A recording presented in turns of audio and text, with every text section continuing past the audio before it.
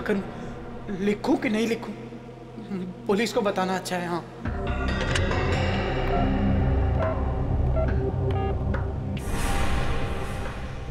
लेकिन अगर पुलिस ने कुछ नहीं किया तो? एडिटर बोलेगा, मुझे क्यों नहीं बताया? हाँ एडिटर को बताना अच्छा है। हाँ एडिटर को। अगर मेरा शक गलत निकला तो? हमारे अखबार की बहुत बदनामी हो जाएगी। पर अगर मेरा शक सही निकला तो आग लग जाएगी, आग। हर जगह। क्या करूँ? कुछ समझ में ही नहीं आ रहा है। What should I do?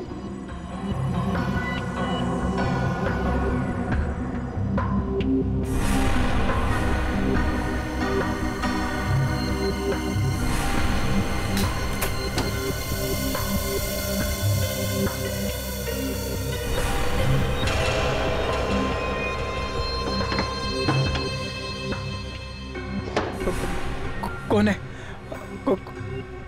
कौन है वहाँ? कौन है वहाँ?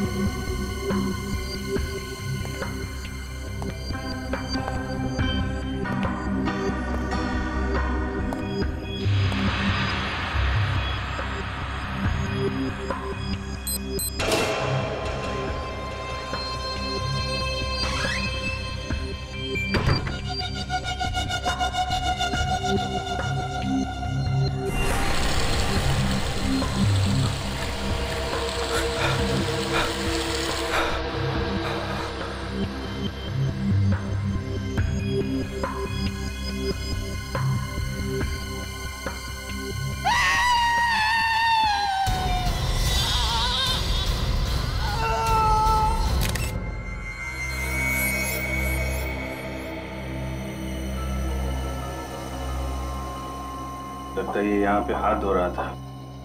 तभी इस पे पीछे से अटैक हुआ। गला घोटा गया है मेटल वायर से। सर तार अंदर तक चला गया है। बहुत ही ताकत से गला घोटा गया है। वो नहीं निशान से लंबा था। ये आप कैसे कह सकते हैं? निशान नीचे से ऊपर की तरफ़ है। ऊपर जा रहे नहीं? नीचे से ऊपर की तरफ़। ओहो। ये देखो। जाते जाते खूनी अपने चप्पल का निशान छोड़ गया है। लगता है नौ दस नंबर की चप्पल होगी। विवेक? सर। निशान उठा लो। Yes sir.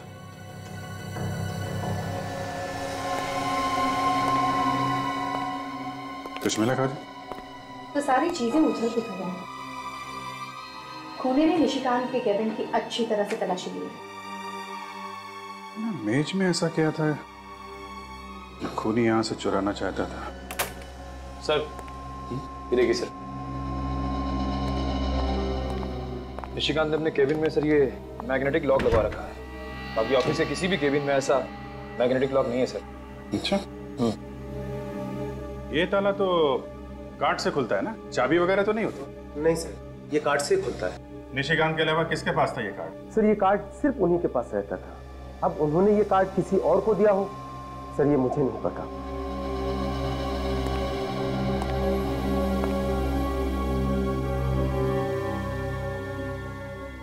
निशिकांत जब काम करते थे तो ये केबिन बंद रहता था? जी हाँ सर हमेशा बंद रहता था। इसका मतलब ये काम किसी पास वाले आदमी का है। किसी ऐसे आदमी का है जिस पे निशिकांत ने भरोसा किया और उसे अपना कार्ड दिया। वैसे ये ताला सिर्फ़ निशिकांत के केबिन पे ही क्यों है? पता नहीं सर पर उन्होंने एडिटर साहब से खास रिक्वेस्ट की थी कि उनके केबिन में लॉक लगाया जाए। जिस समय निशिकांत यहाँ काम कर रहे थे उस वक्त ऑफ़िस में कौन कौन लोग मौजूद थे? एक मिनट सर। अनिल रजिस्टर लेके आना। सर कौन कब आता है कब जाता है? हम सारे लोगों की एंट्री करके रखते हैं रजिस्टर में। ये लीजिए सर। सात लोग थे ऑफ़िस में। छह स्टाफ के और एक विजिटर विक्रमादित्य?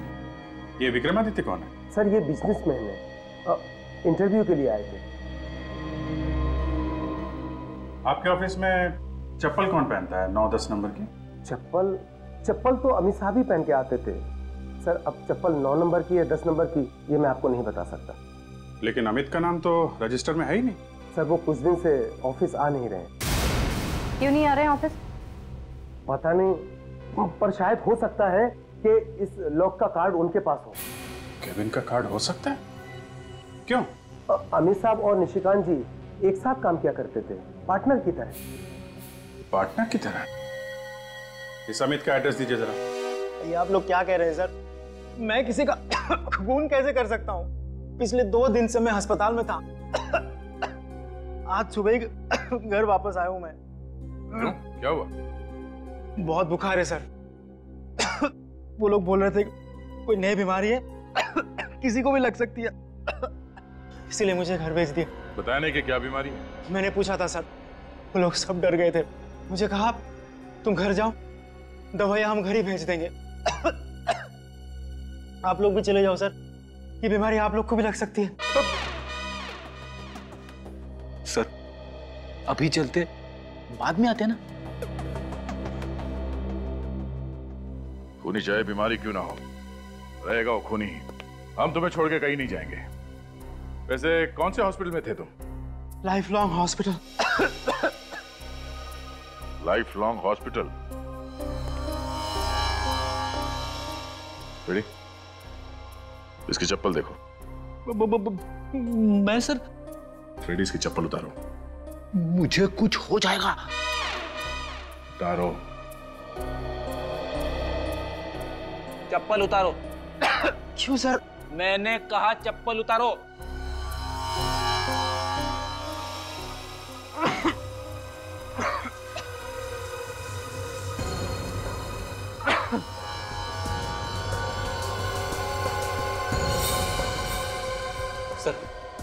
बिल्कुल वैसी चप्पल है सर। नौ नंबर। हाँ। अमित जब तुम हॉस्पिटल में थे तो तुम्हारी चप्पल क्या घर पे थी? हाँ? क्या मतलब? मतलब तुम्हारी चप्पल वहाँ ऑफ़िस में कैसे पहुँच गई? निशिकांत का खून करने। क्या? हाँ। निशिकांत के लाश के पास तुम्हारे चप्पल का निशान मिला है। सर सर ये सब मुझे फंसाने की साजिश है सर। यकीन मानिए पिछले हफ़्ते किसी ने मेरी चप्पल चुरा ली थी ऑफ़िस से। ये बिल्कुल नई चप्पल है। तुम्हारी चप्पल चुरा ली? पर तुम्हें कोई क्यों फंसाएगा? मेरी तो किसी के साथ कोई दुश्मनी भी नहीं है सर। अच्छा निशिकांत के कैबिन के अंदर घुसने के लिए एक्सेस कार्ड की ज़रूरत होती है और तुम्हारे पास भी एक एक्सेस कार्ड है ना? जी हाँ सर। दिखाओ कहाँ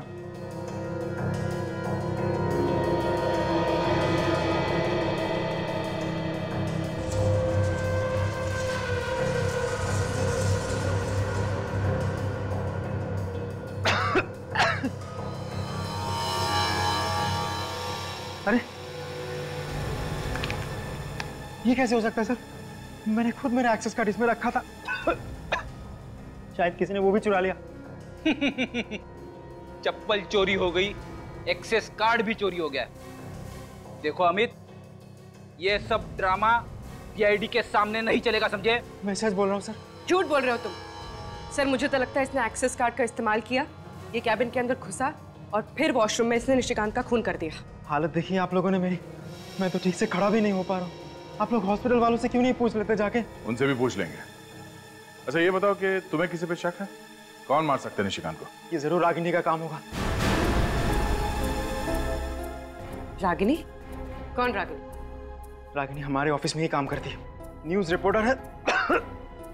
उसके साथ निशिकांत के अक्सर झगड़े होते थे सर। किस बात को लेके होते थे झगड़े? कि रागिनी उससे जलती थी। क्योंकि हमारे हमारे एडिटर निशिकांत को उससे बेहतर मानते थे। इसीलिए sir. Ready Purvi city news के ऑफ़िस में जाके इस रागिनी के बारे में सारी इंफॉर्मेशन निकालो। निशिकांत के खूनी का पता चल गया। पता चल गया? कौन है? रागिनी। रागिनी? हाँ सर। पूछताछ से पता चला है कि जिस वक्त निशिकांत का खून हुआ उस वक्त रागिनी ऑफ़िस में ही थी। जिस वक्त निशिकांत का खून हुआ उस वक्त रागिनी ऑफ़िस में ही थी मगर अटेंडेंस रजिस्टर पर रागिनी का नाम ही नहीं था। रजिस्टर पे एंट्री किए बिना ही ऑफ़िस में घुस के खून करने का इरादा था सर उसका। पर एक बात है सर रागिनी एक लड़की है और स्टील वायर से गला दबाने के लिए हाथों में काफ़ी ताकत होनी चाहिए। सिक्योरिटी गार्ड के हिसाब से रागिनी की लंबाई निशिकांत से कम है। और जिस तरह से गला दबाया गया है नीचे से ऊपर। ये तो किसी लंबे आदमी का काम होना चाहिए ना सर? विवेक जरा उस ड्रॉर से रस्सी लेके आने इधर।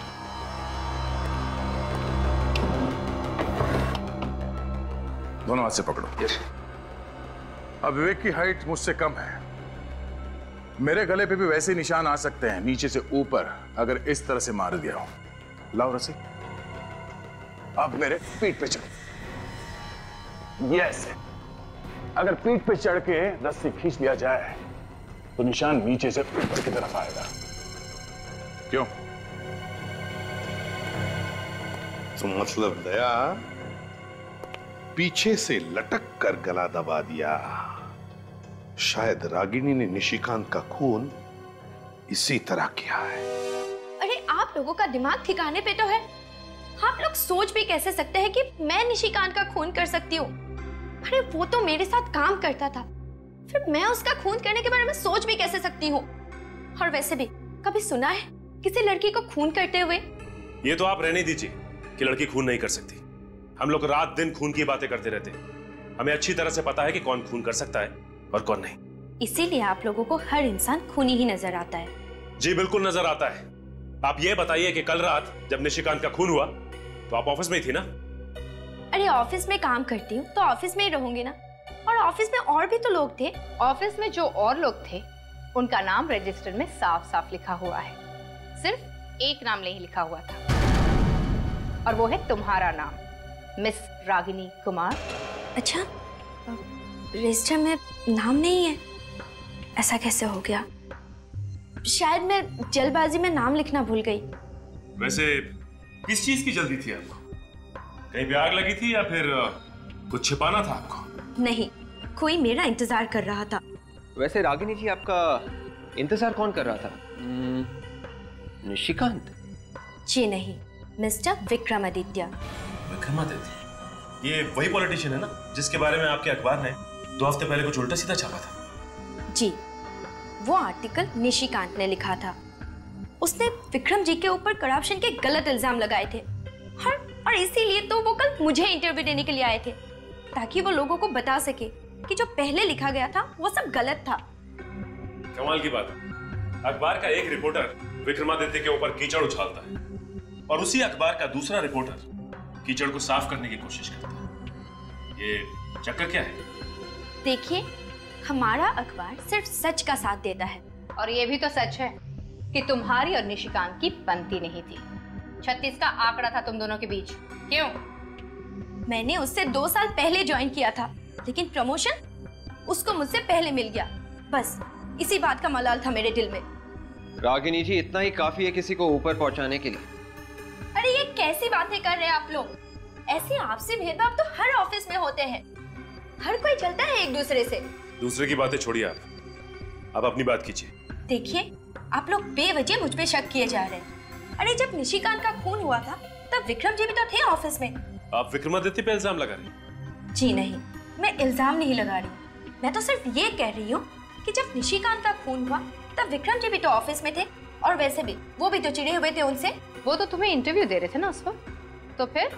हाँ पर बीच में वो उठकर चले गए थे वॉशरूम और तकरीबन पंद्रह बीस मिनट तक वापस नहीं आए थे।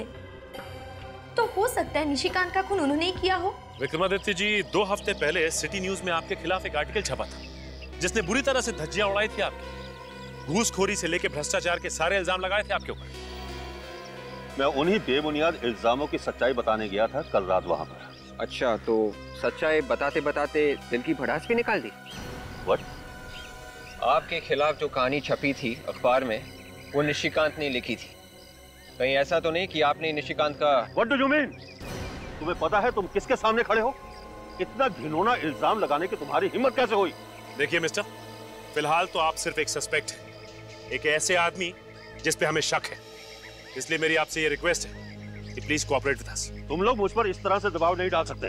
मैं अभी एसीपी प्रदुमन से बात करता हूँ। तभी तुम लोगों की अकल ठिकाने आएगी। रवि एसपी साहब को फ़ोन लगाओ। सर सर मिस्टर विक्रमादित्य आपसे बात करना चाहते हैं। जी सर। एसीपी साहब।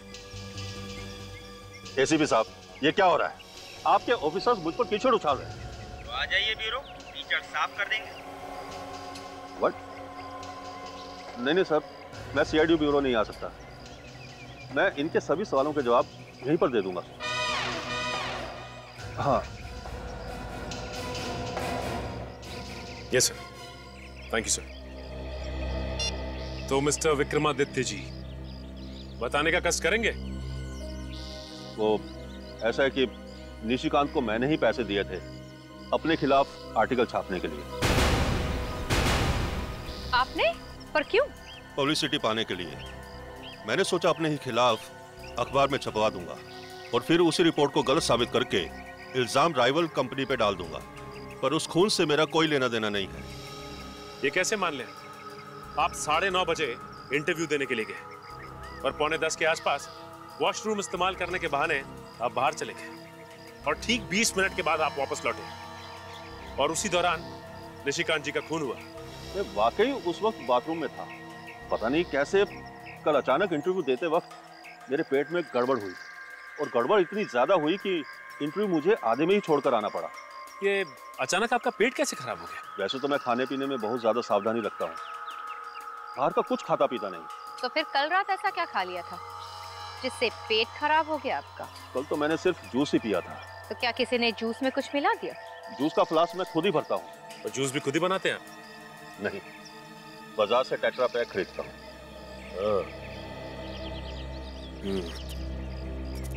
इनकी बात पर यकीन तो नहीं होता। इनका ब्लड चेक करवाओ। पता चल जाएगा कि वाकई में इनका पेट खराब है या फिर ये ड्रामा कर रहे हैं। यस सर मैं सिटी न्यूज़ के ऑफ़िस में ही हूँ। जी। ऋषिकांत के केबिन की सर्चिंग चल रही है सर। सर मुझे भी लगता है वहीं से कुछ ना कुछ मिलेगा।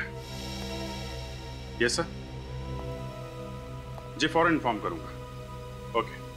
Thank you sir. Sir. हाँ विवेक। ये रही विक्रमादित्य जी की खून की रिपोर्ट। उनके खून में ऑस्मोटिक लैक्सेटिव्स मिले हैं सर। ओह, मतलब उसका पेट वाकई खराब था। झूठ नहीं बोल रहा था वो। यस सर रिपोर्ट में ये भी लिखा है कि अ, पिछले कुछ दिनों से वो सिर्फ़ जूस पी रहे खाना नहीं खा रहे मतलब जूस में ही किसी ने कुछ मिलाया है जिससे उसका पेट खराब हो गया। हाँ काजल? तो ये देखिए सर तो यहाँ पे कुछ है?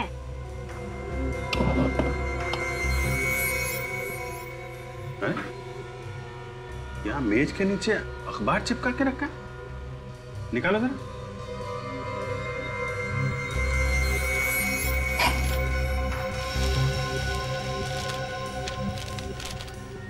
ये अखबार यहाँ नीचे छुपा के क्यों रखा है?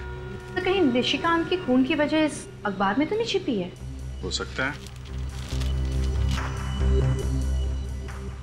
है? इस न्यूज़ के कुछ शब्दों को उसने मार्क कर रखा है। कौन सी न्यूज़ है ये? एक काम करो। विवेक वसंत नगर पुलिस स्टेशन जाओ और इस किशोर के केस की जितनी भी डिटेल्स है सब लेके आओ। शायद ये किशोर ही वो कड़ी है जो मैं इस केस में आगे लेकर जाएगा। किशोर की किडनैपिंग हुई नहीं। कोई भी उसे उठाकर नहीं ले गया था क्या मतलब? सर हम लोग अभी अभी वसंत नगर पुलिस स्टेशन से आ रहे हैं। वहाँ पे किसी भी किशोर नाम के बिजनेसमैन के किडनैप होने की रिपोर्ट लिखवाई नहीं गई है। अरे कुछ भी बोल रहा विवेक तुझे इस केस के बारे में कुछ नहीं मालूम। वो बात नहीं है सर। सर हम लोग किशोर के घर गए और वहाँ जाकर पता चलो कि किशोर नाम का आदमी कोई रहता ही नहीं है। उस एड्रेस पे कोई घर है ही नहीं। उस एड्रेस पर कोई घर है ही नहीं। तो इसका मतलब है पेपर वालों ने ये झूठी खबर छपवाई। सर निशिकांत ने यह खबर लिखी नहीं है। मगर ये अखबार उसने छुपा के रखा था तो ज़रूर इसमें कुछ ना कुछ होगा सर। और दया इस खबर की वजह से ही निशिकांत का खून हुआ है। विवेक पूर्वी काम करो। इस पेपर के एडिटर के पास जाओ और उससे पूछो कि ये स्टोरी किसने लिखी? यस सर पर सर ये स्टोरी नकली है तो फिर छापी क्यों होगी? सर हो सकता है अखबार में छापने के लिए कुछ मसाला ना रहा हो इसलिए मनगढ़ंत स्टोरी छाप दी। नहीं निखिल इसके पीछे कुछ और ही है। ज़रूर ये red coat northern side two arm man ये ज़रूर कोई कोड वर्ड है। कुछ तो छुपा है इन शब्दों के पीछे। हाँ सर खबर में छुपा के कोई खुफिया संदेशा भेजा जा रहा है। लेकिन क्या क्या मतलब हो सकता है इन तीन शब्दों का? Red coat northern side two armed man sir red coat का मतलब किसी लाल गाड़ी या किसी लाल कलर के कुरियर से तो नहीं है? लाल रंग की गाड़ी मतलब पोस्ट वैन पार्सल कुरियर या कार्गो वगैरह? हो सकता है। लेकिन मुझे तो लगता है कि ये कुछ और ही है। ये कोई छोटी मोटी बात नहीं, कोई बड़ा होने वाला है। कुछ तो बड़ा होने वाला है। कुछ तो बड़ा, मगर क्या? माय गॉड आज छब्बीस जनवरी है। कोई ऐसा तो नहीं कि कोई हमला होने वाला है आज 26 जनवरी के दिन? मुझे भी यही लगता है सर। कहाँ पे सर? वसंत नगर वसंत नगर तो बहुत बड़ा एरिया है सर। किस जगह पे होने वाला पता कैसे चलेगा? ये red coat Lal Kot market Lal Kot market तो फिर दया लाल कोट मार्केट के नॉर्दर्न साइड नॉर्दर्न साइड मतलब उत्तरी दिशा में। उत्तर दिशा में कहाँ पे सर? सर ये क्रॉस रोड देखिए। इसमें ये क्लॉक टावर लिखा हुआ है। हाँ तो? लाल कोट मार्केट के उत्तरी दिशा में चार क्लॉक टावर्स है सर। तो फिर दया ये जो फाउंटेन लिखा है इसका कोई ना कोई तो मतलब ज़रूर है दया। फाउंटेन सर उन चार क्लॉक टावर में से एक क्लॉक टावर के नीचे ये फाउंटेन भी है। तो इसका मतलब है जो भी धमाका होने वाला है वो वसंत नगर के लाल कोट मार्केट के उत्तरी दिशा में जहाँ पर चार क्लॉक टावर है और जिसमें एक क्लॉक टावर के पास में फाउंटेन है। वहीं पर। धमाका कब होगा सर? रेडी ये पेपर कल का है 24 घंटे पहले का। इसके खबर के मुताबिक किशोर की किडनैपिंग कल दोपहर को तीन बजे हुई और पुलिस ने कहा था कि ये केस वो 24 घंटे में सॉल्व करेंगे। इसका मतलब है धमाका आज दोपहर के तीन बजे होने वाला है। सिर्फ़ एक घंटा बचा है सर। माय गॉड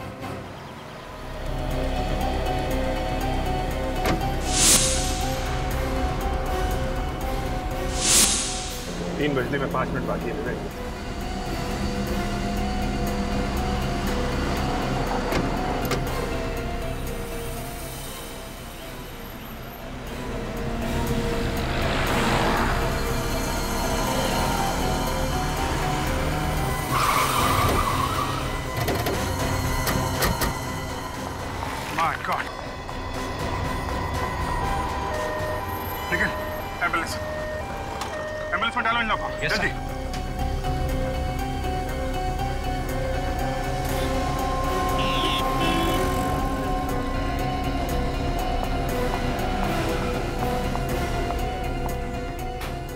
संभाल के मैम आपको कुछ नहीं होगा संभाल क्या संभाल दूसरी काजल काजल सर क्या हुआ आई एम ओके सर पता नहीं आतंकवादी हमारे देश को निशाना क्यों बनाते हैं? सेंटिमेंटल वाला टाइम नहीं है काजल ये पता लगाना ज़रूरी है इस ग्लास के पीछे कौन है? एक बार ये लोग हाथ में आ गए ना एक एक ग्लास का हिसाब लेंगे इनसे। सर बॉम्ब इसी कार में लगा के रखा था। अंदर कुछ मिलता है क्या? कहीं ये ब्लास्ट कोई चेतावनी तो नहीं है? आगे आने वाली किसी बड़ी मुसीबत के लिए। सीनियर इंस्पेक्टर अभिजीत बोल रहा हूँ सीआईडी से। लाल कोट मार्केट में एक बॉम्ब ब्लास्ट हुआ है। हाँ लगता तो है किसी आतंकवादी संगठन का हाथ है। आप पूरे शहर में रेड अलर्ट करवा दो। अभी के अभी। या। सर। हाँ नहीं। सर चेजिस नंबर मिल गया। मिल गया? जी सर। क्या है? One P O nine eight three four F nine eight three four F very good पता चल जाएगा इस कार का मालिक कौन है। हेलो आरटीओ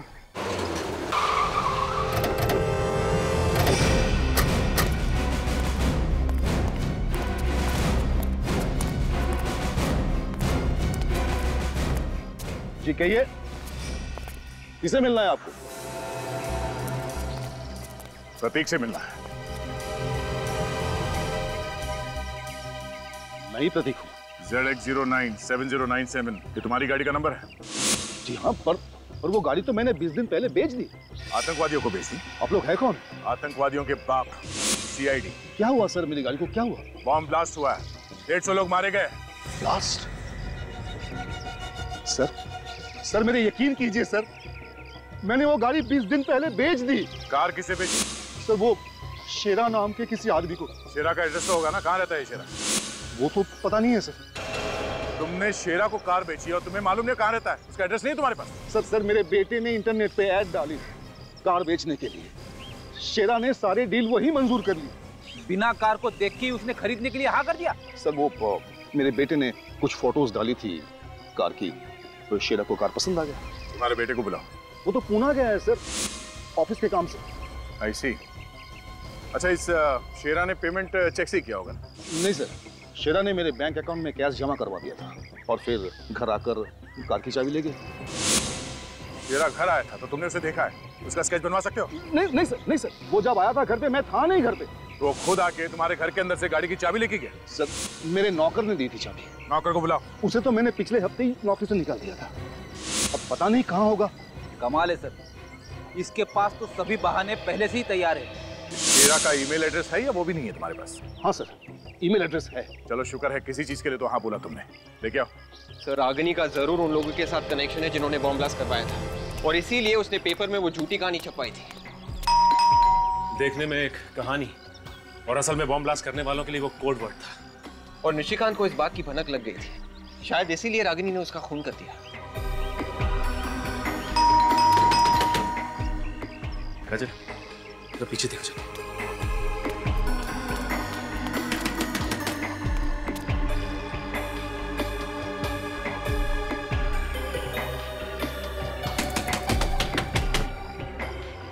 लगता है ये रागिनी दरवाज़ा नहीं खोलने वाली मैं दरवाज़ा तोड़ लूँ? तोड़ दो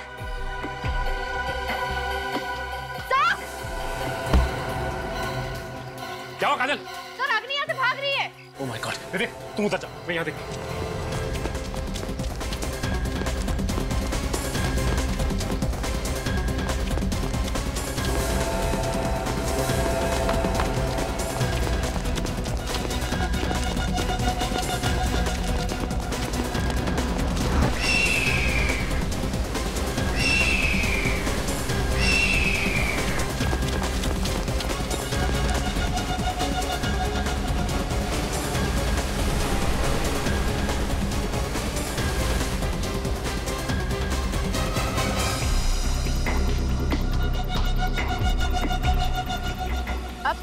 खेल खत्म हो गया है रागिनी कुमार। हाँ ठीक कहा तुमने। खेल खत्म हो चुका है। रागिनी! रागिनी! रागिनी! रागिनी! ये तो मर गई। Shera 85 at the rate टीमेल dot com से एक ईमेल भेजा गया था। तुम्हारे साइबर कैफ़े के किसी कंप्यूटर से। देख सकते हो? जी हाँ सर नेम और एड्रेस दोनों मिल गया सर 53 मयूर विहार सिपरा रोड। शेरा से मिलना पड़ेगा। थैंक्स यस सर एक धमाका तो हो चुका है। बाकी के धमाके कहाँ होने वाले हैं? ये राज तो रागिनी की मौत के बाद दफन हो चुका है। भले ही रागिनी की मौत हो चुकी हो लेकिन कोई ना कोई कड़ी यहाँ से ज़रूर मिलेगी जो हमें यह बता सके कि इन आतंकवादियों का मकसद क्या है? क्या है उनका मकसद? घर का कोना कोना छान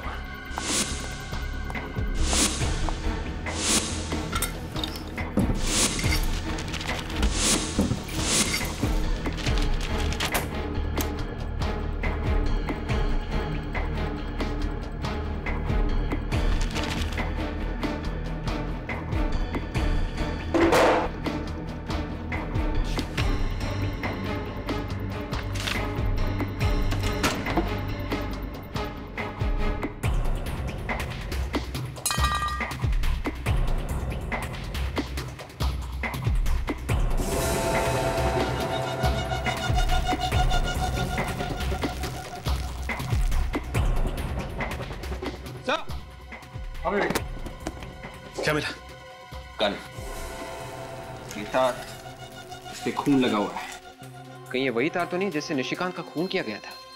हो सकता है। और ये वो एक्सेस कार्ड शायद ये अमित का ही होगा। ये रही मिस्टर विक्रमादित्य की पेट खराब होने की वजह।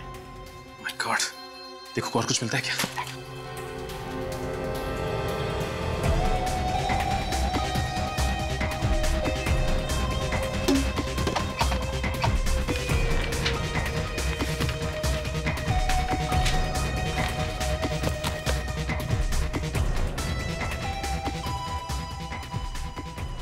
ये देखिए सब।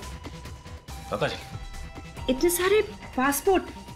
एक ही शक्ल है पर हर पासपोर्ट में नाम अलग अलग है। प्रीति अमृता शिल्पा नुपुर कामना लक्षिता। और यहाँ पे ये रागिनी बन के रह रही थी। और उसने अखबार में जर्नलिस्ट की नौकरी भी की ताकि आसानी से छुप छुप के आतंकवादियों को मैसेज भेज सके। इन लोगों ने काफ़ी लंबी प्लानिंग की है। अखबार में आर्टिकल्स और क्रॉसवर्ड के ज़रिए पूरे देश में आतंकवाद फैलाया जा रहा है। हाँ विवेक। इसका लैपटॉप चेक करो। देखें क्या मिलता है।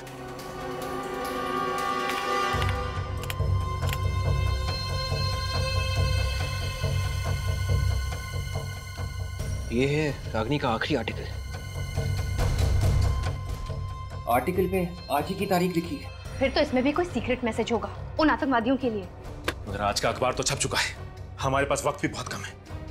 न जाने कितने मासूम और बेगुनाहों की जान जा सकती है, अगर हमने उन्हें वक्त पे नहीं रोका तो।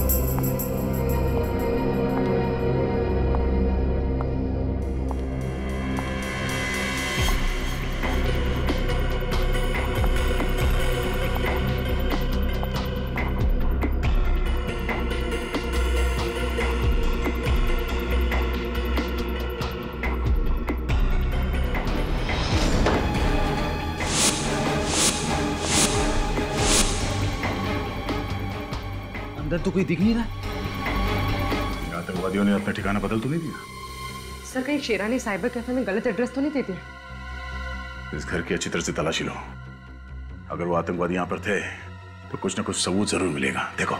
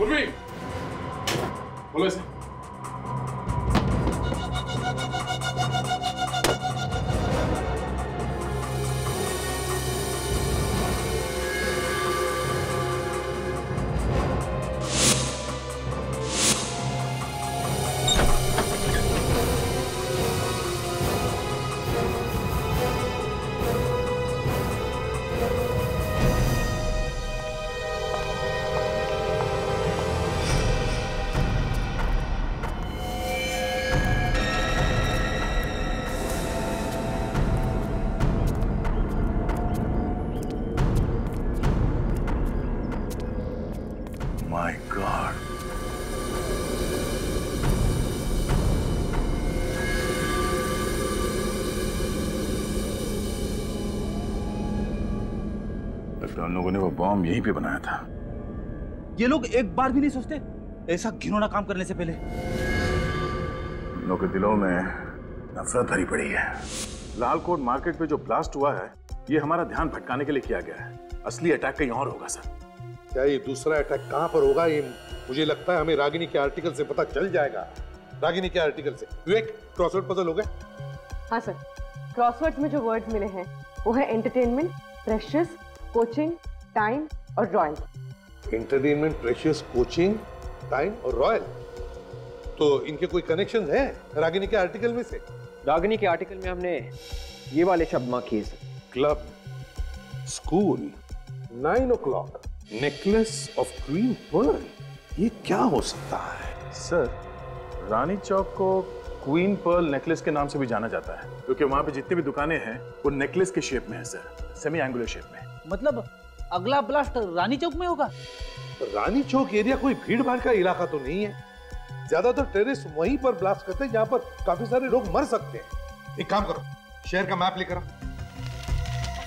ये देखो ये रानी चौक इलाका है। अब हम देखते हैं कि क्रॉसरोड में ऐसे कौन से शब्द हैं जो हमें बताएँगे कि ये बॉम्ब ब्लास्ट कहाँ पर होने वाला है रानी चौक इलाके में। सर क्रॉसवर्ड में ये शब्द है कोचिंग और इस आर्टिकल में शब्द है स्कूल। तो रानी चौक इलाके में ये जो स्कूल है टॉयलैंड स्कूल कहीं ये ब्लास्ट स्कूल में तो नहीं होने वाला है? Toyland school? My god Purvi toilet school में अभी इसी वक्त फ़ोन करो और उनसे पूछो क्या 26 जनवरी है तो उनके स्कूल में कोई फ़ंक्शन है क्या? और अगर है तो कैंसिल करो फ़ंक्शन इसी वक्त। जल्दी।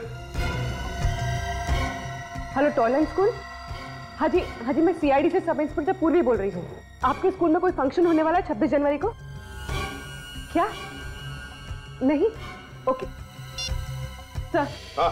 सर उनके स्कूल में कोई कंस्ट्रक्शन का काम चल रहा है। एक हफ़्ते से स्कूल बंद है। इसका मतलब है निशाना कोई और ही है। स्कूल नहीं सर इस क्रॉसवर्ड में ये एक और शब्द है एंटरटेनमेंट और इस आर्टिकल में ये शब्द है क्लब और रानी चौक इलाके में बहुत सारे रिक्रिएशनल क्लब हैं। तो कहीं ये ब्लास्ट किसी क्लब में तो नहीं होने वाला? हाँ हो सकता है। हेलो हाँ? आतंकवादी संगठन के बारे में पता चल गया? वेरी गुड हाँ? ओके या thank you so much sir ये काम किसी तरकश आतंकवादी गुट का है सर तरकश। यार, इन लोगों ने तो बहुत सारे शहरों में बहुत से ब्लास्ट किए हैं। कितने सारे लोगों की जानें ली है। लेकिन इस बार हम उनका मकसद पूरा नहीं होने देंगे। नहीं होने देंगे मकसद पूरा। विवेक, इंटरनेट से पता लगाओ इनके तरकश की गतिविधियों के बारे में। निकालो कुंडली उनकी।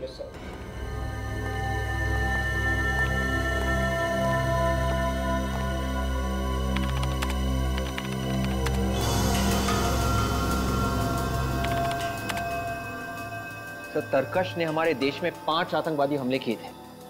और आज लालकोट मार्केट में जो हमला हुआ था, बॉम्ब ब्लास्ट हुआ था, वो छठा था। और पिछले साथ आर्मी के साथ हुई मुठभेड़ में तरकश के दो आतंकवादी मारे गए थे। तरकश की आर्मी के साथ मुठभेड़?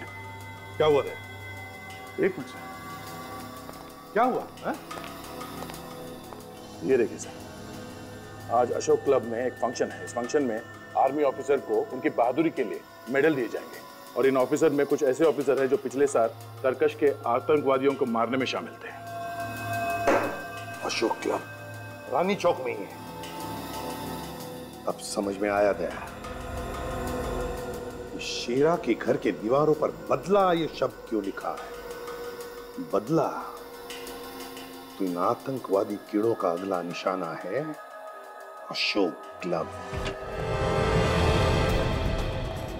mister Raghu yes sir मैं इसे भी प्रद्युमन सीआईडी से। चलिए सर हाँ। सर आपका फ़ोन आते ही मैंने पूरे क्लब की सिक्योरिटी टाइट करा दी सर ये अंदर आने के कितने दरवाजे हैं? पाँच दरवाजे हैं सर और पाँचों के बार कड़ा पैरा है। और अगर हमला उन्होंने ऊपर से किया तो? सर हमारे मिलिट्री हेलीकॉप्टर ऊपर सिक्योरिटी राउंड लगा रहे हैं। ये सुनिए। मिस्टर रघु आपकी सिक्योरिटी अरेंजमेंट बहुत अच्छी है। मगर हम यहाँ किसी मामूली आतंकवादी ग्रुप के बारे में बात नहीं कर रहे हैं। हम बात कर रहे हैं दुनिया का बहुत ही खतरनाक आतंकवादी ग्रुप तरकश के बारे में। इन्होंने कई बार कड़ी से कड़ी सिक्योरिटी में घुसकर हमला किया है। एक काम करो क्लब का ब्लूप्रिंट दिखाओ हमें। दे आतंकवादी अंडरग्राउंड से ही आएँगे। ये देखो एंट्रेंस के नीचे चार ड्रेनेज टनल है। One A one B two A two B और हॉकी के पीछे की तरफ़ ड्रेनेज थ्री ए और फोर ए दो। कुल मिला के छह टनल है there. तो लगता है ये अंडरग्राउंड से ही आएँगे टनल में से। सर सामने के जो चार टनल्स है इस पे तो सिक्योरिटी है। मगर पीछे दो ड्रेनेज जो है इस पे सिक्योरिटी लगाई नहीं सर। नहीं? व्हाट नॉनसेंस किस तरह की सिक्योरिटी है ये? दिखाइए हमें। दया यहीं से आएँगे वो। चलो।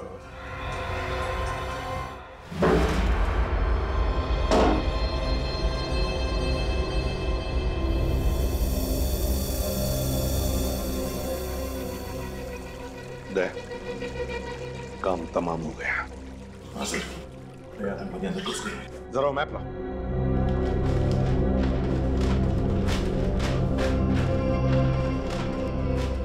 या। ये वो दोनों ड्रेनेज टनल्स हैं। यहाँ से रास्ता किचन की तरफ़ जाता है। किचन में छुपे होंगे वो लोग। लेट्स गो में कोई बाहर का आदमी आया नहीं सर। यहाँ तो सब अंदर के ही लोग हैं। सर सर रामू और गणेश को किसी ने स्टोर रूम में बाँध के रखा है रामू और गणेश? हाँ जी। किधर? स्टोर रूम में।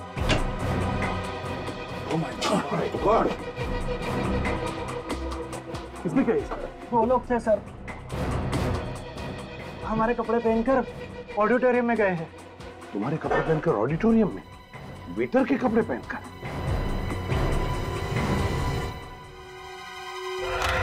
हमारे देश को आज़ाद करवाने के लिए अनगिनत नौजवानों ने अपनी जान दे दी। आज हमें स्वतंत्रता मिली है तो सिर्फ़ उन देशभक्त सिपाहियों की वजह से जिन्होंने अपना बलिदान दे दिया। आज हम चैन की सांस ले रहे हैं तो उसका श्रेय सिर्फ़ हमारे नौजवान सिपाहियों को जाता है। आज हम चैन की नींद सो पा रहे हैं तो वो सिर्फ़ हमारे देशभक्त सिपाहियों की वजह से। और आज इस ब्रेवरी अवार्ड्स का आयोजन किया गया है तो वो सिर्फ़ उन सिपाहियों के सम्मान के लिए।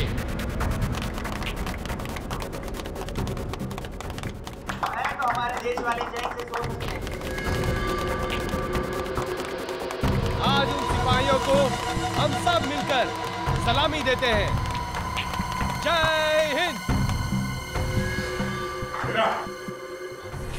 सीआईडी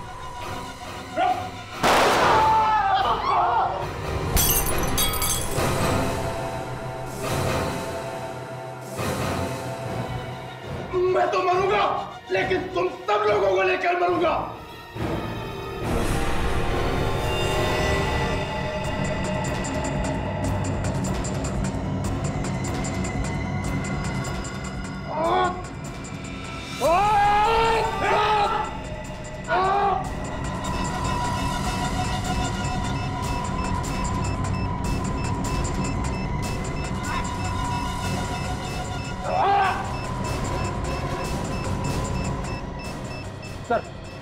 और एक बंदा मिला है, सर्कस ग्रुप का।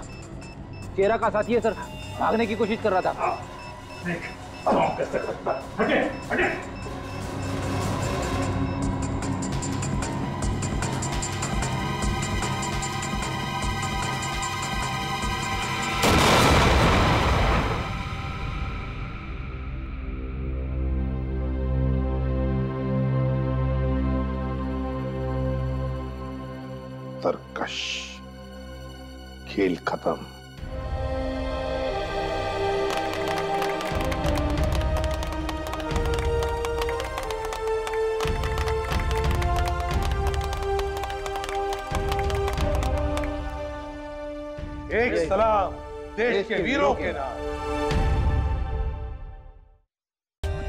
For more updates, subscribe to our channel, click the show links and enjoy watching the videos.